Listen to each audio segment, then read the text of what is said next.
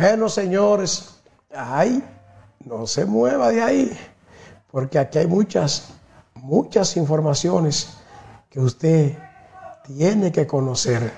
¿Sí? Si usted se queda ahí, la va a conocer, pero si se va, uh-uh, no se enterará de nada. Así es que les recomiendo mantenerse con nosotros, porque aquí sí que hay muchas, pero muchas informaciones.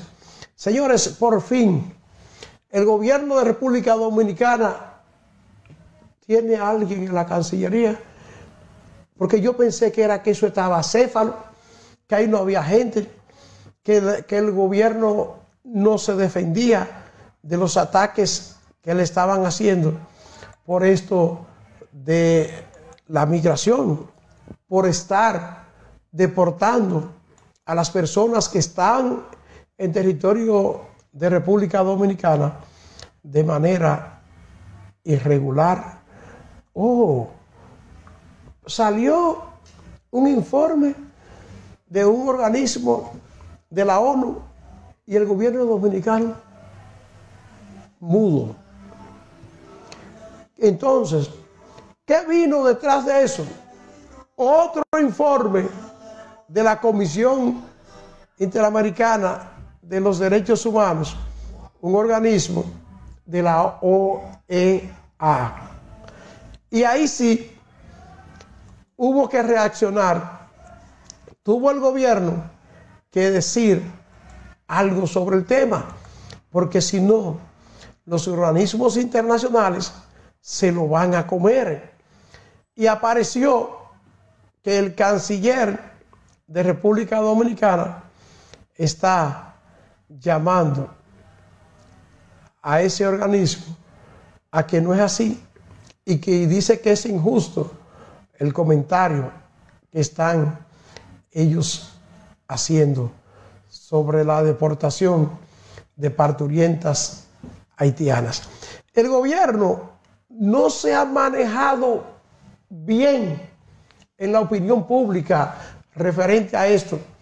Arno, si me ponen chimagoto, la verdad, porque es que esta cámara está muy de frente, Arno. Entonces, el ministro de Relaciones Exteriores catalogó de injustos e inoportunos los comentarios emitidos por la Comisión Interamericana de los Derechos Humanos de la Organización de los Estados Americanos acerca de la deportación de embarazadas haitianas en condición migratoria irregular en República Dominicana. Por medio de un comunicado, las autoridades expresaron que el gobierno dominicano respeta el principio de no devolución en el sentido de no deportar a individuos que corren el peligro de ser sometidos a torturas, tratos crueles, persecución política u otras violaciones graves de sus derechos humanos en razón de su raza, credo, opinión política, nacionalidad, etc. Sin embargo, consideramos que dicho principio no aplica en el presente caso, ya que no se trata de perseguidos políticos, miembros de una minoría étnica o religiosa, ni un grupo político particular, agrega el texto en que se establece además que República Dominicana no tiene responsabilidad alguna ante la situación de pobreza, desigualdad e inseguridad generalizada que se vive en el vecino Haití. Asimismo, instaron a los miembros de la Comisión Interamericana de los Derechos Humanos a que consulten con el Estado Dominicano que consulten a ver con el Estado dominicano, porque aquí no se está haciendo nada malo, no se está haciendo nada, nada irregular. Y para eso le piden que consulten las situaciones particulares de las que tengan conocimiento y que puedan generarle dudas, pues las autoridades se encuentran dispuestas a suministrarle las informaciones necesarias y así evitar descontencios que se puedan malinterpretar algunas causas. Aunque se han registrado al menos cuatro casos de mujeres que han entrado en labores de parto al momento de ser trasladadas al centro para migrantes ubicados eh, ubicado en Jaina, el Ministerio de Relaciones Exteriores aseguró que no existe evidencia de que la denuncia sobre un caso en el que una mujer haitiana fue supuestamente deportada después de dar a luz y separada de su bebé. Eso no es cierto. En todo caso, la Dirección General de Migración mantiene un protocolo para los migrantes vulnerables, como es el caso de las mujeres embarazadas, en el que se garantiza la seguridad, la integridad y la salud de las personas indicaron al respeto. El comunicado finaliza destacando que no habrá solución dominicana al problema haitiano.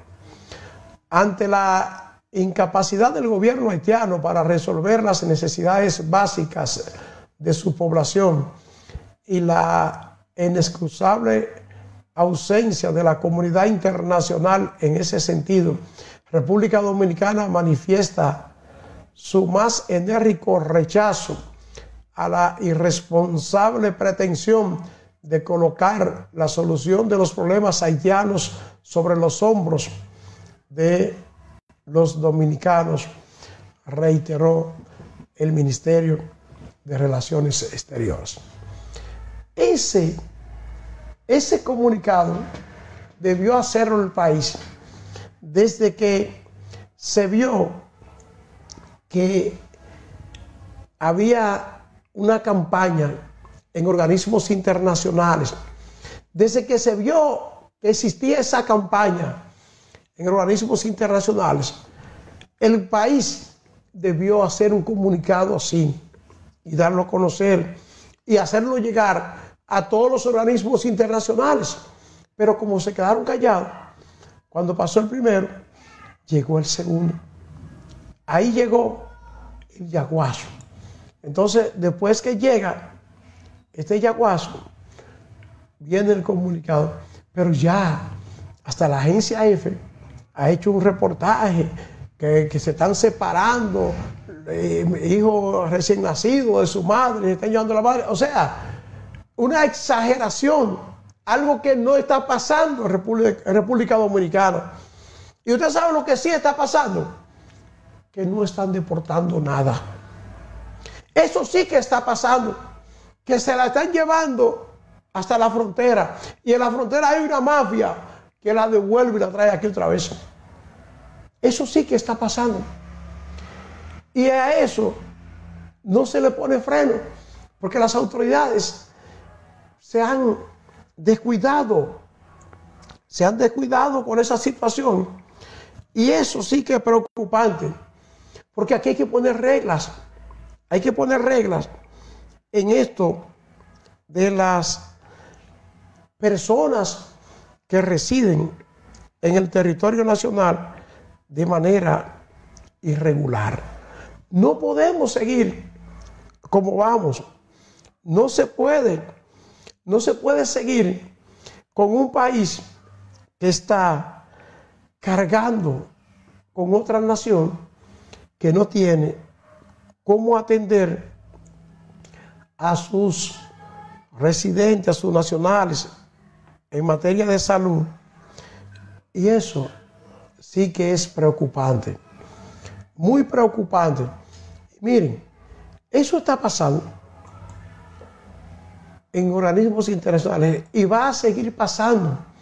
Porque hay un grupo de ONGs que tienen una campaña permanente haciendo creer, haciendo creer que República Dominicana está dando maltrato a los vecinos. Y es una campaña de siempre, que nunca pasa, donde se invierten muchos millones de dólares y gente que vive de eso, incluyendo dominicanos. Entonces esa campaña no cesa. Pero, ¿qué es lo que tiene que hacer el gobierno? hacer lo que hay que hacer, deportar al que esté de manera irregular y que las embarazadas hay que cuidarlas. Esa es la verdad, hay que cuidarlas. Y hay que tratar de buscar la fórmula de que no tengan problemas ni el bebé ni la madre. Esa es una realidad.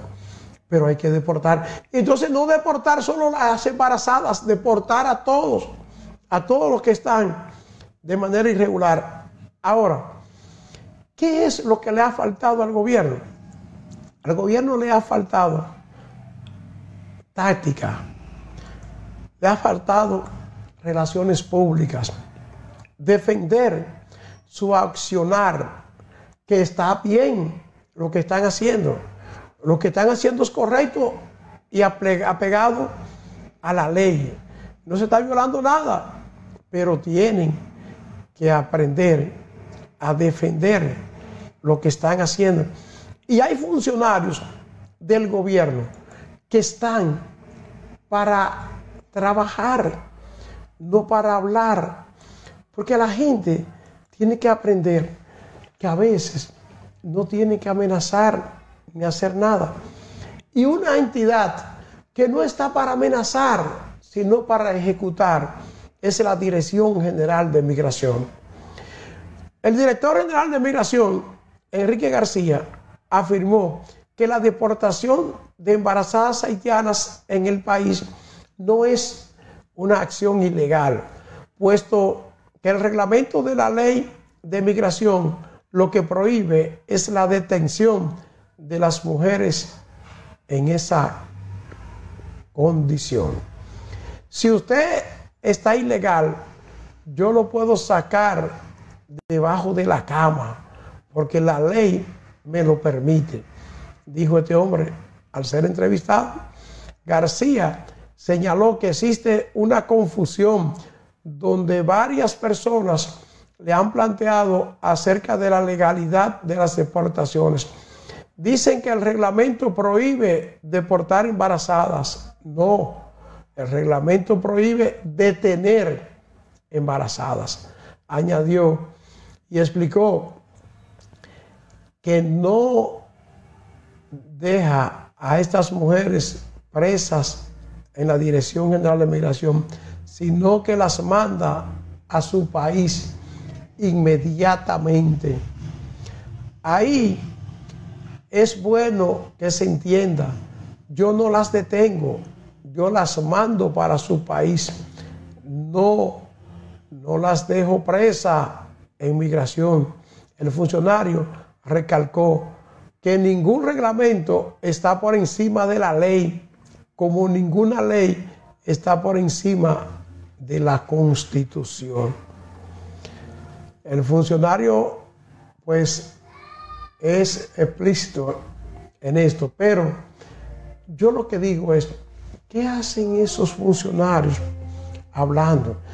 Debería el gobierno crear una especie de buró de comunicaciones para esto, de las migraciones, de las relaciones exteriores y todo esto, y que haya un vocero del gobierno, quien sea, que defienda la legalidad, lo que está haciendo todo eso, y que no pongan al funcionario que está para perseguir, que está para perseguir y ejecutar la ley, a defender, que pongan otros. Eso es lo mismo que yo dije con el director de la policía, que no están para hablar, que están para ejecutar, que hagan las cosas bien hechas y se olviden de todo lo que se diga, que se calle el director de migración. Que haga su trabajo y se calle. Seguimos con más.